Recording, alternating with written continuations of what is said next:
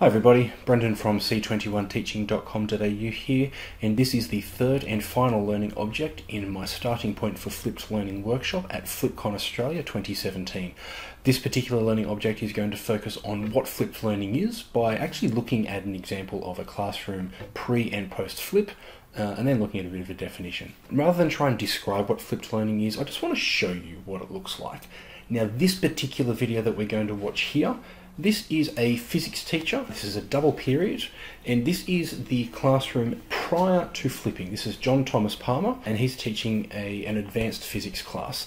Now you can see that traditional pedagogy, there is a lot of, well, whiteboard and talk. The students aren't really doing too much other than taking notes. You may have noticed there's a brief moment just there where he came down to do a demonstration down here, and that was it. And then that moment at the end there, that was the assessment moment in the classroom, right at the very end of that double period, about 85 minutes. That's traditional pedagogy. There's not a whole lot of active learning happening other than whatever notes are being taken and uh, whatever questions get asked. Now, in terms of the demonstration, if you happen to be sitting at the back of the room and you missed it, tough luck you didn't really get another go over because there wasn't the opportunity for that to happen in this particular classroom because you can see there's a lot going on. The next clip that we're going to watch is the same teacher, the same topic, but 12 months later. And it's after John has actually started flipping his class.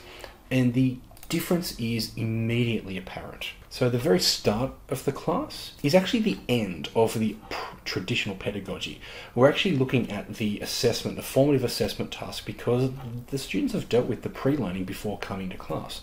There's also an opportunity to do a more uh, structured assessment there. You can see the students were taking notes. But this is the classroom, and you can see that there are different groups of students all around the room working on different activities. Some of them are working on lab reports, some of them are getting some support and some feedback from the teacher, but you can see that they're all working on individual learning tasks. This is the group learning space. They've completed the learning object in the individual learning space and they've now come in. But you can see that the teacher and this particular student, that student's able to get the extra support that she needs. These three students here are able to get the extra support that they need because he's not tied to the front of the room as the teacher trying to do the explanation, the explicit teaching.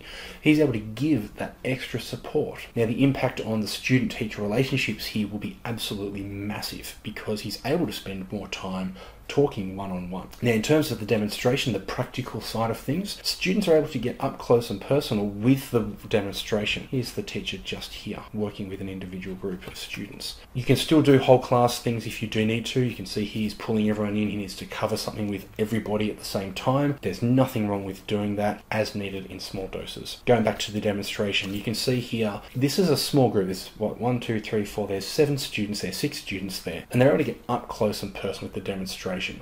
And you can see by the movement of their hands with these symbols, I can't recall what that means.